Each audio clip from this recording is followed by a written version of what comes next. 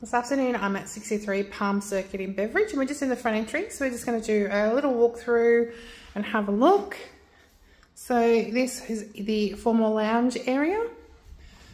And then as we head through the hall on the left we've got the master bedroom. Which is a lovely big room with the walk-in robe and then the adjoining ensuite. So you've got the his and her vanities, the shower and the loo is just behind the door here.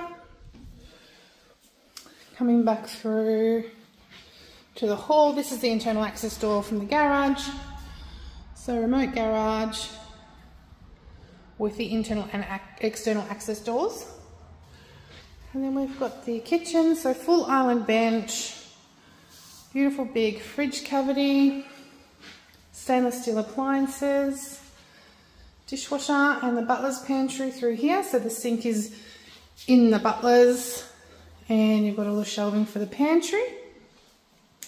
Overlooking the open plan meals living space, which is a beautiful big area, plenty of natural light. Heading down the rear hall, we've got the three remaining bedrooms. So bedroom two, each have the double built-in robe with the sliding mirrored doors.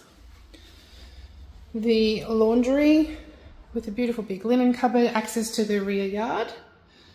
Study nook here in the rear hall as well. And then we've got bedroom three and four, which are the mirror image of one another with that robe again. Last bedroom, and then we've got the central bathroom and toilet here. The bar. And then we'll just pop out the back.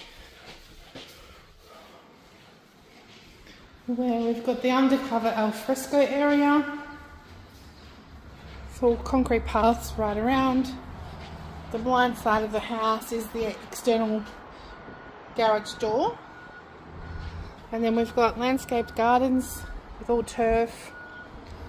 Path right round, recycled water here on the estate, so the garden timing timers for the watering system.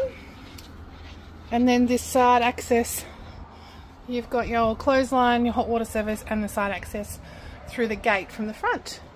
And that's 63 Palm Circuit in Beveridge.